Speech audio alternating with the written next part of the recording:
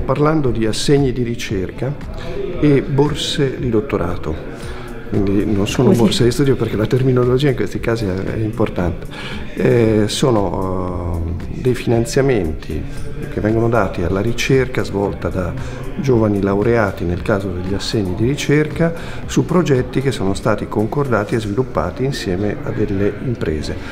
Eh, questi finanziamenti erogati dalla Regione Umbria con fondi eh, del Fondo Sociale Europeo eh, mirano a fare in modo che si possa eh, trasferire i contenuti della, ric- della, ricerca alle applicazioni produttive. In particolare eh, questo tipo di processi sono quelli capaci di generare innovazione nelle imprese. Stessa cosa va detta anche per un numero minore, perché sono decisamente più costose, di borse di dottorato di ricerca. Sapete che il dottorato di ricerca dura tre anni, quindi queste borse di dottorato coprono l'attività dei dottorandi svolta presso le imprese per la durata di tre anni.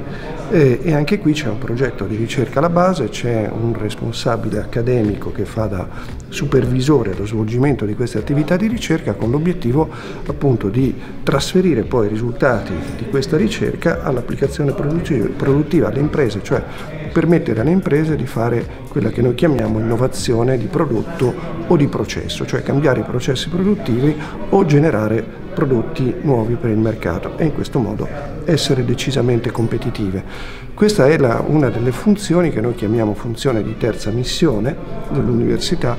La terza missione dell'università consiste appunto nell'attività del trasferimento dei risultati della ricerca al territorio. È una funzione che da quando è stato approvato il nostro statuto eh, in vigore attualmente, cioè dal 2012, eh, è diventata funzione istituzionale eh, del, dell'Università degli Studi di Perugia, così come in tante altre università italiane, proprio perché le funzioni istituzionali non sono più solo didattica e ricerca, ma trasferimento dei risultati della ricerca inteso come compito eh, al quale l'università deve per eh, prescrizioni statutarie adempiere.